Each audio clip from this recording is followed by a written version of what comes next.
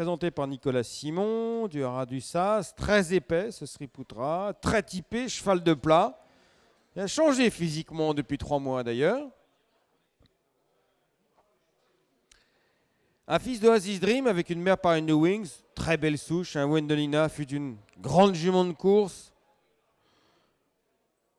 Cheval qui a fait une formidable carrière internationale. Il s'est beaucoup battu contre Frankel. Battu à chaque fois, évidemment, parce que Frankel fut invaincu.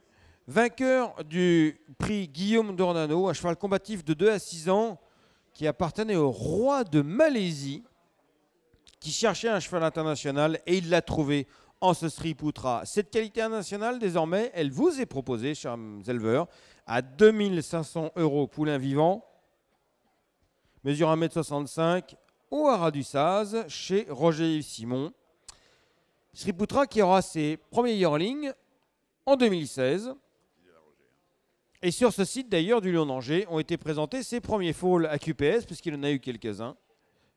Lors du choix à QPS 2015, Sri Putra, cheval dur, de distance intermédiaire, de précocité et de ténacité.